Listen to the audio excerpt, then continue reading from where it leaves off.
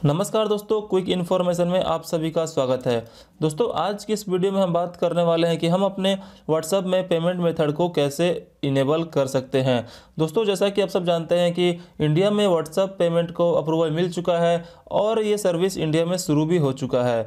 ऐसे में दोस्तों, अगर आपके व्हाट्सएप में पेमेंट का ऑप्शन अगर नहीं आता है तो आप अपने प्ले स्टोर पर जा के व्हाट्सएप को अपडेट कर ले। अगर अपडेट करने के बाद भी अगर ये फीचर्स आपके व्हाट्सएप में नहीं आता है तो दोस्तों, आप इसे इसे चेक करते रहें। जब भी अपडेट आएगा, आप इसे अपडेट कर लें और आपके व्हाट्सएप में भी पेमेंट का ऑप्शन आ जाएगा। तो दोस्तों, चलिए फटाफट हम व्हाट्सएप पेमेंट को इनेबल करते हैं। तो दोस्तों व्हाट्सअप पेमेंट को इनेबल करने के लिए सबसे पहले आप अपने फ़ोन में व्हाट्सअप के एप्लीकेशन को ओपन करेंगे। उसके बाद दोस्तों, आपको ऊपर में थ्री डॉट का एक ऑप्शन मिलेगा। इस पर आप क्लिक करेंगे तो आपको एक पेमेंट का ऑप्शन मिलेगा। तो दोस्तों, इस पर क्लिक करेंगे। तो देखिए दोस्तों, आप देख सकते हैं कि मेरे यहाँ पर एक स्टेट बैंक ऑफ़ इंडिया का एक मेरा अकाउंट यहाँ पर लिंक है। तो चलिए फटाफट पहले हम इसे रिमूव करेंगे। उसके बाद हम एक नया आईडी को हम यहाँ पर ऐड करेंगे। तो दोस्तों, आप देख सकते हैं कि हमारा जो बैंक अकाउंट है, वो यहाँ से रिमूव हो चुका है। अब एक नया बैंक अकाउंट हम कैसे यहाँ पर ऐड करते हैं? तो दोस्तों, आप देख सकते हैं कि यहाँ पर एक ऐड पेमेंट मेथड का एक ऑप्शन है और नीचे एक न्यू पेमेंट का ग्रीन कलर का एक ऑप्शन है। तो दोस्तों, सबसे पहले आप यहाँ पर एक एडेड पेमेंट मेथड पर क्लिक करेंगे। उसके बाद दोस्तों, आपके सामने इंडिया में जितने भी बैंक है, वो सभी का लिस्ट आपके सामने यहाँ पर शो हो जाएगा। तो दोस्तों, आप अपना यहाँ पर बैंक अल्फ़ाबीटा से यहाँ चेक भी कर सकते हैं, या आप ऊपर सर्च में जा के सर्च भी कर सकते हैं। तो दोस्तों, जैसा कि तो हम यहाँ पर एक अपना पेटीएम बैंक लेंगे तो हम यहाँ पर खोजेंगे कि हमारा पेटीएम बैंक कहाँ पर है। तो दोस्तों, जैसा कि आप देख सकते हैं कि हमारा यहाँ पर पेटीएम बैंक यहाँ पर शो हो रहा है पेटीएम पेमेंट बैंक तो इस पर हम क्लिक करेंगे। उसके बाद दोस्तों, इसे हम अपने नंबर से वेरीफाई करेंगे।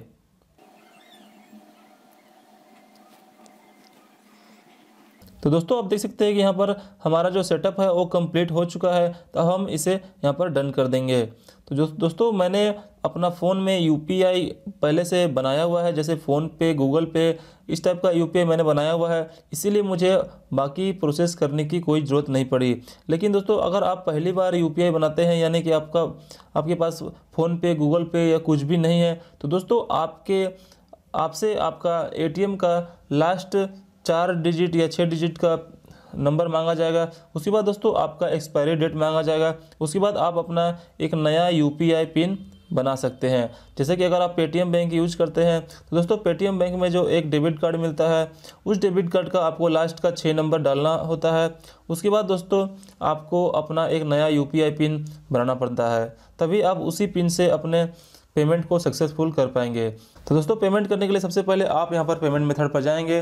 जैसा कि हमने अपना बैंक अकाउंट लिंक किया हुआ है तो दोस्तों, उसके बाद आप अपना, यहाँ देख सकते हैं कि ऊपर आपका नाम शो हो रहा है। उसके बाद आपके सामने एक राइट साइड में क्यूआर कोड का एक ऑप्शन है। इस पर दोस्तों कोई स्कैन करके आपको पेमेंट सेंड कर सकता है।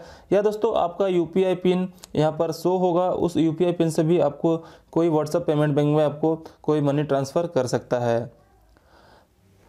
और दोस्तों, अगर आपके कॉन्टैक्ट लिस्ट में कोई ऐसा नंबर है जो व्हाट्सअप पेमेंट यूज़ करता है तो आप दोस्तों नीचे न्यू पेमेंट पर क्लिक करेंगे। उसके बाद उस व्यक्ति को डायरेक्ट नंबर से भी पैसा ट्रांसफ़र कर पाएँगे। और दोस्तों, अगर आपको किसी को पेमेंट करना है तो दोस्तों, आप डायरेक्ट क्यूआर कोड स्कैन करके भी पेमेंट कर सकते हैं। तो दोस्तों क्यूआर कोड स्कैन करने के लिए सबसे पहले आपको यहाँ पेमेंट वाले ऑप्शन में देखेंगे कि आप राइट साइड में एक थ्री डॉट का एक ऑप्शन मिलेगा।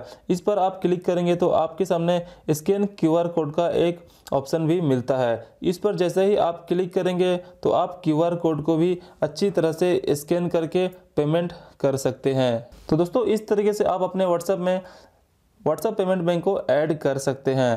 तो दोस्तों, वीडियो अच्छा लगा हो तो वीडियो को लाइक कर सकते हैं और चैनल पर पहली बार आए हैं तो आप चैनल को सब्सक्राइब कर लें, क्योंकि दोस्तों मैं आपके लिए इसी तरह के वीडियो लाता रहता हूँ। तो दोस्तों, मिलते हैं अगले वीडियो में, तब तक के लिए गुड बाय